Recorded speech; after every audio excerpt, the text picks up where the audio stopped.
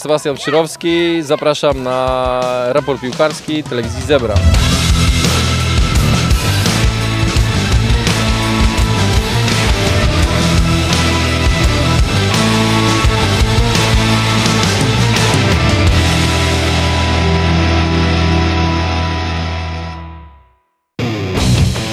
Zapraszamy na kolejne wydanie raportu piłkarskiego, a w nim mecze barażowe o wejście do Ligi Okręgowej pomiędzy Centrum Radom a Zodiakiem Sucha. Oprócz tego relacja z pikniku piłkarskiego broni Radom, a na koniec obszerny wywiad z Wernerem Liczką, trenerem Radomiaka Radom. Zapraszamy!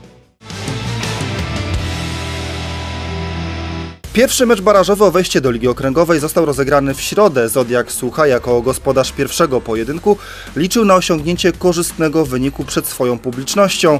Jednak centrum skutecznie pokrzyżowało te plany. Podopieczni trenera Patryka Wolskiego pewnie wygrali na wyjeździe 3 do 1. Rewanż rozegrano w niedzielę na boisku przy ulicy Narutowicza i ponownie górą byli zawodnicy centrum. W 33 minucie pierwszą bramkę zdobył Dominik Wolski. W 58 minucie wynik podwyższył Konrad Chodyra. Na listę strzelców wpisał się także Jakub Jastrzębski, bramkarz centrum, który zdobył bramkę z rzutu karnego. Czwarte trafienie dla centrum zaliczył Mateusz Paliwoda. Goście zdobyli bramkę honorową w 78 minucie z rzutu wolnego. W 90 minucie na raty bramkę z rzutu karnego zdobył Kamil Molga. Ostatni gwizdek i wielka radość. Centrum wygrało z Zodiakiem 5 do 1, a cały dwumecz 8 do 2 i awans do okręgówki stał się faktem. Puchar za awans do okręgówki wręczył zawodnikom prezydent Radosław Witkowski. Gratuluję serdecznie i życzę powodzenia w lidze okręgowej. A później przyszedł czas na zabawę i podziękowania kibicom, którzy przez cały sezon wspierali zawodników. Z nami jest y, trener zespołu Centrum Radom, zespołu, który wywalczył przed chwilką awans do Ligi Okręgowej, pokonując na własnym boisku Zodiaka Sucha 5 do 1. Pan trener cały mokry, bo taka radość drużyny, że wylali na niego chyba całego szampana. Radość, radość, taka jest radość i bardzo fajnie, wcale mi to nie przeszkadza. Cieszę się, że osiągnęliśmy tutaj założony cel i jesteśmy szczęśliwi. Historia się stworzyła, bo, bo centrum pierwszy raz w swojej historii 17-letniej awansowało do Ligi Okręgowej. No właśnie, jak ocenia Pan ten mecz? No bo wynik 5-1 to potwierdza to, że no mieliście dominację, ale w tej pierwszej połowie troszkę tak y, Zodiak postawił trudne warunki. Oczywiście, ale wiedzieliśmy, że muszą po prostu zaatakować wygraliśmy pierwszy mecz na wyjeździe y, 3 do 1, więc y, tutaj drużyna gości musiała po prostu przycisnąć mocno. Założenie było przytrzymać tutaj, przytrzymać tutaj y, przeciwnika, żeby nie stwarzał sobie dużo sytuacji, bezpiecznie, bezpiecznie tutaj grać od tyłu, y, starać się kontratakować i no, strzeliliśmy bramkę na 1-0 po, po sta- stałym fragmencie rzut z autu, który też był y, rozrysowany, że tak powiem, zakładaliśmy sobie takie rozegrania z rzutów autu i, i udało się strzelić z tego bramkę, więc fajnie, że, że gdzieś tam, kiedy przeciwnik nas przycisnął, potrafiliśmy wykorzystać y, element z całego fragmentu gry i tutaj już ustawić sobie praktycznie mecz. rzadki widok, bo w pierwszej połowie, chyba w okresie 60 sekund, mieliście cztery sytuacje, praktycznie y, wykorzystywane tak samo, tylko że nieskutecznie. No dokładnie, pierwsze, pierwsze dwie sytuacje sam na sam były trochę zlekceważenie. No. Y, Najbardziej ta druga y, Dominika tutaj, y, którą miał gdzieś chciał, chciał pi- piłkę spokojnie nad bramkarzem przerzucić. No nie udało się, bramka zabrała piłkę w koszyk, potem znowu sytuacja, że zamiast piłkę delikatnie tylko podciąć nad bramkarzem, które jest koźle, to my na siłę uderzamy, ale trudno, no, sytuacja się nie wykorzystało. Chłopaki może sobie tutaj pozwolili na, jakiś- na, na jakiś luz, oczywiście, czego nie popieram, ale nie, nie strzelili i szkoda, szkoda, szkoda, że tego wyniku, wyniku nie ma jeszcze wyższego. Czyli chyba może pan ten to wybaczyć, tą nonszalancję troszeczkę w grze. Tak, teraz mogę, teraz mogę wybaczyć nonszalancję w tej grze, tak. I drugi powód, dla którego warto było oglądać ten dwumecz, to mecz, yy, w obydwu meczach padały piękne bramki. W, pierwszej, w pierwszym meczu przepiękny strzał Konada Chodyry, dzisiaj przepiękny strzał Mateusza Paliwody. Jak pan to skomentuje? Tak, y, najważniejsza zawsze po- powtarzam jest decyzja. Ten zawodnik szedł z bocznej, z, bocznej strefy boiska do środka, y, zdecydował się na uderzenie, y, silne uderzenie pod poprzeczkę, bramkarz był bez szans i wpadło, wpadło po prostu decyzja. Najważniejsza jest decyzja. Cieszę się, że zawodnicy decydują się na takie strzały, a jeszcze jak wykonują je tak jak dzisiaj, czy jak w meczu w Suchej, no to jestem bardzo szczęśliwy. A nie ma pan takiego wrażenia, że bramkarz powinien ten strzał wybić głową? Nie, nie ma takiego wrażenia. Może jakby trener tutaj gości stanął na bramkę, no może wybił to głową, ale yy, ja nie popieram, żeby bramkarze bronili głową, tylko rękami, bo po to je mają. No właśnie, bo troszeczkę tak piłka nad głową przeleciała, dlatego właśnie pytam o tą głowę. Może, może jakiejś hidratacji nabrała i spadła cokolwiek, nie mam pojęcia. Tak Na wprost nie stałem tej piłki, z boku wyglądało to bardzo efektownie. Jeżeli bramkarz popełnił błąd, no to już jest tam problem jego i, i, i trenera, trenera Zodiaka. E, Panie trenerze, w nagrodę za osiągnięcie historycznego celu, jakim jest awans e, do Ligi Okręgowej, mamy dla Pana prezent. Jest to voucher na 12 wejść do kliniki Nowa Medic, która świadczy kompleksowe usługi lecznicze, a przede wszystkim leczy piłkarzy Radomiaka Radom. Proszę bardzo Panie trenerze Dziękuję bardzo. i gratuluję awansu do Ligi Okręgowej i powodzenia, bo to rozumiem, że zostaje Pan na następny sezon. Yy, No oczywiście, że zostaje, tak. Taki był cel awansować i, i mam, mam, mam, mam yy, chęć zostać tutaj w tym klubie, dlatego, dlatego fajnie, że, że coś tutaj się robi pozytywnego. Jako trener czy grający trener? Jako trener. Postawiliśmy wszystko na jedną kartę. Wiadomo, że zespół był inaczej ustawiony. E, agresywniej. Mieliśmy e, w tygodniu jeszcze dwie kontuzje, gdzie nam wyeliminowało dwóch zawodników, ale to nie świadczy o niczym. E, myślę, że jakbyśmy strzelili na 1-0, to co mieliśmy, byłby całkiem inny mecz i z tego, z tej sytuacji zespół gospodarzy pojechał z kontrą, był rzut z autu i z autu znów tracimy bramkę. Popełniliśmy więcej błędów, wie czy to jest 5-1 czy 1-0, to nas to nie, nie fascynuje. Jest sytuacja tego typu, że przyjechaliśmy tutaj wygrać 3-0, a przegraliśmy 5-1. Nie ma znaczenia to dla mnie, ja po prostu przede wszystkim to chciałem pogratulować zespołowi Centrum Awansu do Ligi Okręgowej, a swojemu zespołowi podziękować za, za cały rok e, pracy. I to są takie dwa mecze, wiadomo, że, że, że, że to są mecze barażowe. W tych dwóch meczach e, Centrum okazało się zdecydowanie lepszym zespołem. I chwała im za to, gratuluję i, i my będziemy po prostu walczyć prawdopodobnie w przyszłym roku też o, o najwyższe cele, no bo e, sportowo musimy sobie to e, podnosić jakieś tam poprzeczki. Nam nie pozostaje nic innego jak pogratulować zawodnikom, trenerom i kibicom Centrum Radom awansu do Ligi Okręgowej, a my liczymy na równie efektowną grę w wyższej klasie rozgrywkowej. Czwartek na stadionie przy ulicy Narutowicza odbył się czwarty piknik rodzinny, którego organizatorem była Broń Radom. Impreza to nie tylko świetna okazja do integracji, ale również do podsumowania sezonu we wszystkich drużynach broni. Staramy się integrować cały, cały klub, rodziców, ro, wszystkie roczniki młodzieżowe, seniorów. No jest to takie podsumowanie całego roku. Jedną z głównych atrakcji była możliwość rozegrania meczu przeciwko zespołowi złożonemu z seniorów broni Radom.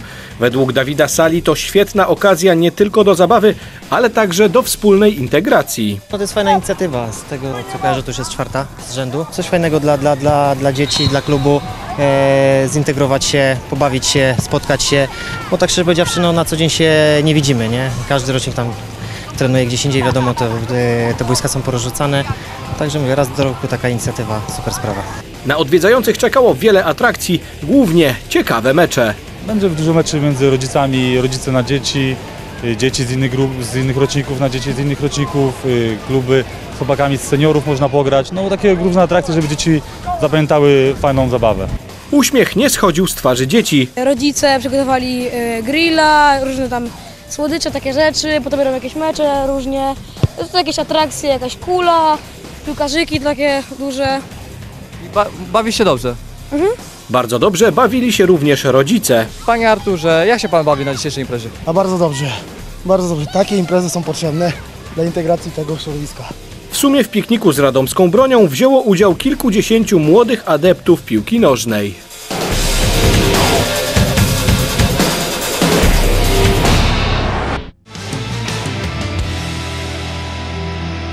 Witam Państwa bardzo serdecznie, Łukasz Kościelniak.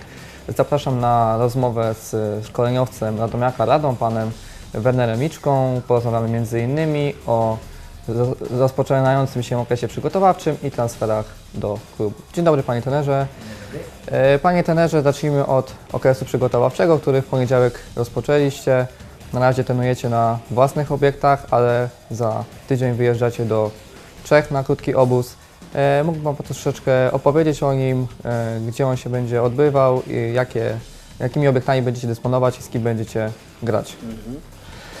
Tak, e, tutaj ten okres przygotowawczy, to przygotowanie wszystko jest łatwo, bo właśnie jest to ty, tylko w, w, w ramach spraw umiejętności organizacyjnych. Także e, ty warunki tutaj u nás v klubě jsou, myślę, dobré, nieźle. Tak jsme vlastně chtěli, aby ten podstavový okres, alebo część ta pierwsza, by byla tutaj, bo máme v klubě všechno, co je jako, jako v té poře potřebné. Takže máme takový způsob 3 plus 1, 2 plus 1, 2 plus 1, to značí, že tam, jak jsou ty vždycky dva, tak, ta, tak ten program má tu objętność jako jest większa, to znaczy, że jest trening godzina 45, 2 godziny ráno, tak samo po południu. Z tym, że tak myślę, że to jest takový ten normalny sposób jako przy przygotowaniu. Tam ta metodologia może być jako troszkę inna, ale to, że ten zawodnik musi być mocny, a musi mieć właśnie gaz, energię, tak właśnie to, to jest ten cel. S tím, že ten pierwszy mecz, takový potom, potom podstavě, tak máme, máme už v sobote 3. lipca. Ale to je takové to wejście jako do tego obciążenia meczowego, także każdy zawodnik będzie grać tylko 45 minut. A potem tak już to tutaj tak automatyczne przejście do specyficznego, specy, specyficznej pory, to znaczy jako takie skupienie na ważne mecze. A tam jako jest naszym celem grać takie ważne mecze. Ważne mecze, o, oczywiście, że nam chodzi o wynik, bo każdy pozytywny wynik jest potem jako, jako, jako też dobry, pozytywny. Ale bardziej nam chce, abyśmy mieli my taką odpowiedź, a taką ocenę prawdziwego stanu jednotliwych zawodników a no, drużyny. Także gramy w Czechach, no, no dlaczego Czechy, tak z tego, że we względu moich związków, no tak mamy bardzo, dwa, dwa bardzo ważne mecze z FC Fastav Zlin a Słowacko, FC Słowacko. To są takowe bardzo dobre zespoły tej czeskiej pierwszej ekstraklasy, bo szczerze tutaj w Polskiej ta pierwsza ekstraklasa z nami nie za bardzo chce jakoś grać, także to jest powód, a aby właśnie było i obciążenie dla tej reszty tej kadry, tak mamy jeszcze taki trzeci mecz, takže właśnie z tym Fastavem z, Linogramem mecze dwa. dwa. Mm, przez ten okres przygotowawczy, wliczając sparingi i mecze Pucharu Polski, e, no można powiedzieć w miesiącu zagracie około 7-8 spotkań. Pojawiły się takie komentarze, że troszeczkę chyba to za dużo, żeby zawodnicy się, że tak powiem, nie przecenowali. Żeby mieli siłę. Jak masz do tego odnieść? Lepiej teraz zagrać dużo sparingów, czy, czy, czy mniej? Bo są e, trenerzy, którzy właśnie preferują to, żeby grać jak najmniej sparingów, a jak najwięcej treningów. Jak Pan do tego Tak myślę, no, że pierwsza ta informacja nie jest tak jako, jako jasna, albo jako prawdziwa. Tych meczów mamy ile? 4, 5. Takže właśnie do Pucharu jest meczu 5. Potem jeszcze jest jeden mecz właśnie między, jakbyśmy awansowali w tym. Jeden mecz, ale to jest bardziej tak, że właśnie tam idzie o ten proces. To znaczy, powtarzam, pierwszy mecz zagra każdy 45 minut, tak aby właśnie jako weszedł. Potem już e, dwa ważne mecze, to ten drugi a trzeci, tak e, już chcę, aby każdy zagrał aspoň tych, e, ś- e, nie każdy, ale ta podstawowy skład 70-80 minut. To tak, aby było obciążenie, a e, dlatego, aby właśnie mieli obciążenie i ta reszta zawodników, tak właśnie stamy się trzeci mecz. A potem e, wracając, tak gramy trzy dni przed pierwszym meczem pucharowym, e, piąty mecz, to znaczy 45 minut. Także to tak wychodzi na zawodnika e, no trzy mecze, no, że nie więcej, coś myślę za mało. Ale myślę, że jest dobrze, że tam są te puchary, bo właśnie te puchary mogą być, ale nie mogą, oni są. E, bardzo d- dobrym sposobem, tak powiem, e, realnym właśnie i, i sposób jako przygotow- przygot- przygotowania. Także e, myślę, że ja jestem tak, aby była równowaga między e, z ilości zajęć a ob- obciążeniem. Ja jestem też za, że pierwszych 12-13 dni nie ma m, jako meczów. Jako mam jako swoje e, jako sprawy, no, jako że dlaczego. Także, ale jako d- no, te mecze jako mu- muszą być, bardziej jest po tym problem, że dla tej podstawy składu jest to dostarczy dobre, ale no, dla tej reszty zawodników, albo ten, który třeba miał jakiś kłopot e, z- zdrowotny, albo jakiś po- powodu, tak ma, ma niestety e, te ilości meczu mało.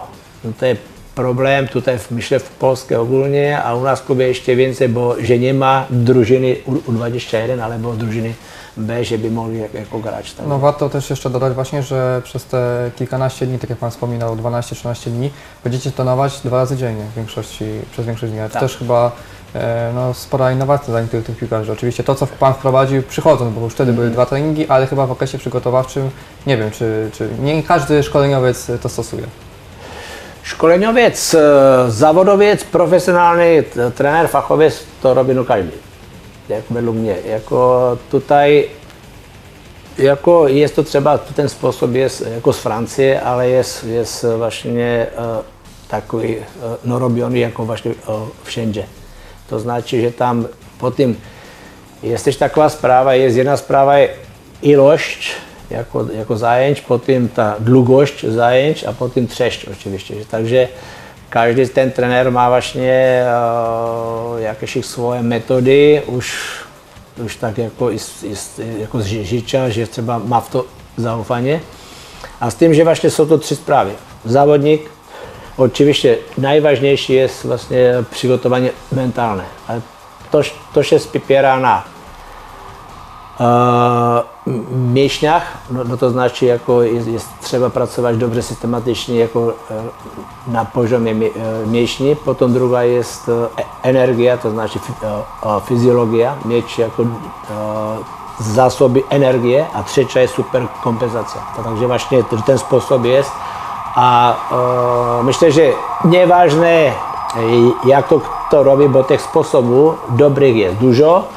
Ważne jest, aby ten pierwszy mecz, to znaczy pierwszy mecz ligi, było widoczno i właśnie obiektywnie i, i subiektywnie na tym boisku, że zespół jest dobrze przygotowany. No właśnie, wspomniał Pan o meczach ligowych. Sezon zaczyna się już 31 lipca, więc tego czasu no, już za dużo nie pozostało. O co będzie gra Radomek w nadchodzącym sezonie? Tak, e, e, wszędzie e, mówimy wszyscy, jako i kibice wszyscy awans. A że to tak ma być, że ma być jakiś określony cel, ma być e, i właśnie sposób jak osiągnąć, ale szczerze jako mówię, że e, jak powiem awans, albo jako to ma taki cel, tak musi mieć i atuty. A e, no ten náš zespół właśnie wszystko teraz rozpoczyna. No, to, to znaczy, że ta drużyna kadra jako jest nowa, e, właśnie tak z też tego każda d- drużyna się bu- buduje minimálně 2 až 3 lata. To znaczy, ale e,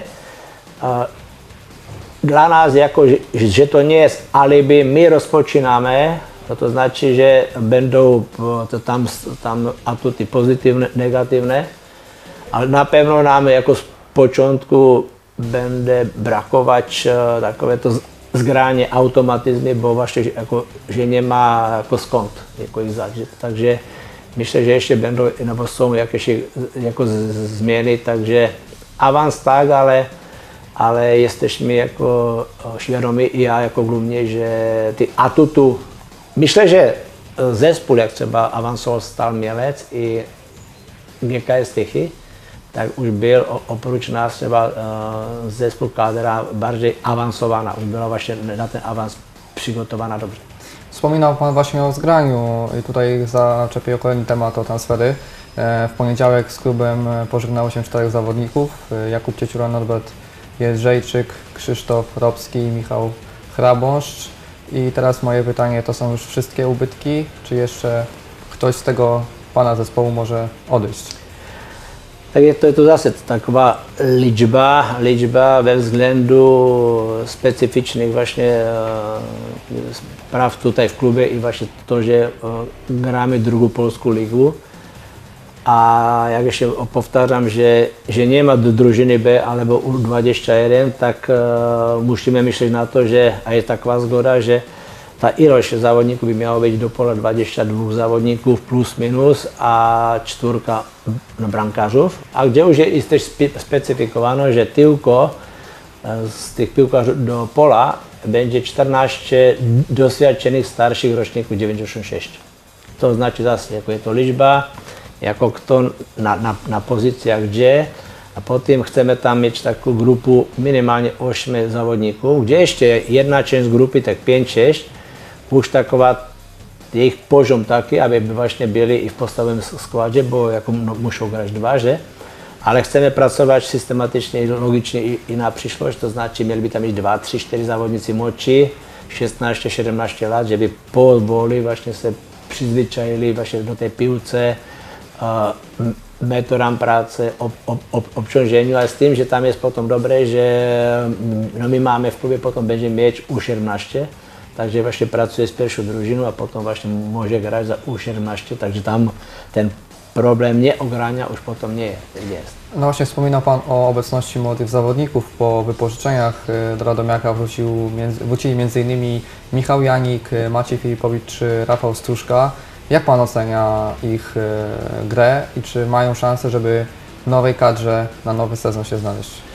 Tak pierwsze, jakby nie był e, przekonany, że właśnie zasługują właśnie tu możliwość wrócić, a właśnie być w tej, tej kadrze, a zrobić ten okres przygotowawczy, no tak jakoby można, te postępy były inne, ale myślę, że e, tak ja u, uważam, że by miała być współpraca jak tych e, ostatnich no, dwa miesiące, e, e, konkretne przykłady je Michal Janik a Maciej Filipowicz, że ty zawodnicy byli wypożyczeni, że by mieli meczové obciążenie, współpraca między klubami była bardzo dobra, že ty závodní byli ciągle a se čuli jak, jako závodníkami našeho klubu, trénovali z pierwszą družinu, to znaczy, že e, tam było spełnione to, co ja chcę, aby mieli e, bardzo wymagający treningowy procent z meczu na mecz, a potem właśnie jeszcze mecz, takže e, tych pierwszych dniach tak wszyscy trzy tak e, są pełni tak ambicji, siły, tak mam nadzieję, że to tak zostaje.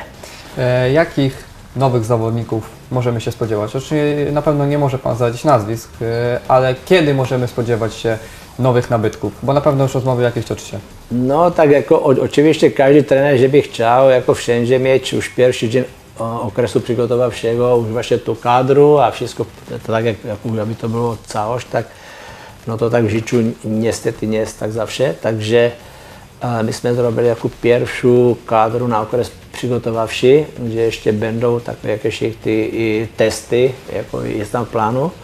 No a potom ta, ten pierwszy etap, te, ten drugi to by miał być już takový kadra na, na ten obóz tych plus minus 22 zawodników plus tři brankáři do pola. Takže no, jakože powoli a tak ta kadra by miała być uh, kompletna na ten pierwszy ligový mecz, ale tím, že je właśnie okienko transferowe až do końca sierpnia, tak jak byśmy třeba ještě tutaj s, s władcami klubu uh, zauważyli, že jest trzeba jeszcze kogo zmoc, przyjść, wzmocnienie, tak no może być. No właśnie, wzmocnienie na jaką pozycję? Na jakie pozycje Pan potrzebuje? To jest- Bo widzi Pan potrzebę, żeby tutaj przyszli nowi zawodnicy. Tak, jest tutaj, to jest o tym, że tam jest e, głównie, że stan zawodników. Że tak jest to, że aktuálně jest tam takové pytanie u trzech, czterech zawodników, którzy nie są 100% w porządku, jako jest Mikolajczyk, jako jest Švidíkovský. Wraca właśnie powoli, bardzo powoli Dawid Kwiek a Kucharski, takže właśnie tam, ale to, to, je, to, to je właśnie i jedna sprawa. A takže to wzmocnienie też jakože polega na tym. Jako, jako na tym jest, e, a zase bych to ještě oddělil na těch, na tu, e, těch 8 závodníků młodých. No tam bychom też chtěli ještě tak jednoho, dvou młodých, jako na tím, že zase i v tom sensie e, využít tego zawodníku odrazu, jako už jako na ten sezon, a nebo potom vlastně na tu prácu dlugou, dlugofalovou, to znaczy jako v, ve vzhledu dvou, třech let. A zmocnění to je dla mě závodník, který jest, už má coś właśnie jako w, w głowie, w nogach, że, że przyjdzie, a właśnie tak tam może to być napastnik, może to być środkowy, środkowy pomocnik, albo tam coś, ale jako e, widzę, że e, takowa obowiązek jeden, może że i dwóch jako jest trzeba. No będzie też y, problem z bramkarzami, bo Michał Kula jest kontuzjowany i jeszcze troszeczkę potrwa, zanim wróci do treningów. I moje pytanie jest takie, bo zostajemy z Piotrem Banasiakiem. Czy Adrian Szady e, zostaje w Adomiaku? Taka, takie samo pytanie Adrian Szady i Kamil Supriak, czyli wypożyczeni piłkarze e, na rundę wiosenną? Prosta odpowiedź. Zostają oba dwa. Zostają. Zostają. Czyli jeszcze będziecie, rozumiem, też szukali wzmocnienia na pozycję trzeciego bramkarza, drugiego bramkarza? To, to nie jest jak to zase, jako máme tam jakieś wizje, je tam alternatywa A, je ta alternatywa B, myślę, że to tak wspólnie, ma- mamy na to tak te 14 dni, no 3 tygodnie. Nie jesteśmy aktualnie pod naciskiem, że właśnie mus, musimy zrobić jakieś ruchy, bo myślę, że ta dwójka podstawowa, Piotrek, Banasiak e, a Adrian jest, jest jako dobrá. A plus, jako no tu máme, ještě máme teraz na testách jedného młodého závodníka a je tu ještě Filip Adamčík, takže jako myslím, že lepiej, lepiej ty, ty tu takové podstavové vážné no decyzje, takže to má čas třeba 14 dní, jako 3 tygodně, bo a ten okres přigotowawszy jest jako właśnie, e, ta, że ten zawodnik właśnie zase innych warunkach, a że może no, pokazać coś jako, jako innego, także To pójdę dalej za ciosem, za zyskami. Szymon Stanisławski był obecny na pierwszym e, treningu w, poniedziałek. Będzie grał w przyszłym sezonie w Radomiaku, czy to jeszcze kwestia negocjacji? Nie no, tak tutaj jeszcze jako, że nie ma jak w ogóle e, py- pytania, bo właśnie tu jest, że on jest zawodnikiem Belchatowa. To znaczy, że e, jakby třeba był wolnym zawodnikiem, no tak już to jest coś jako, jako innego. Ja się przyznam, przyznaję, że Szymona jako nie znam.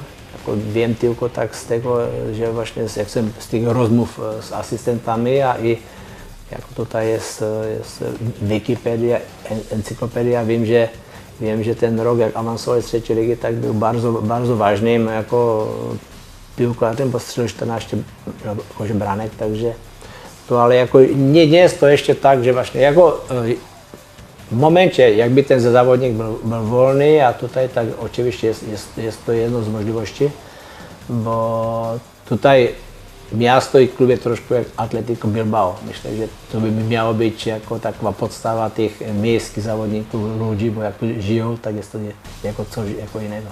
Czyli rozumiem, że w najbliższych latach celem jest awans do Ekstraklasy i gra w pucharach. Gra w pucharach udana, tak jak Pan powiedział, Atletico, Atletico, Atletico Bilbao. Bilbao. To, Dobrze. to, to by było Dzie- świetnie.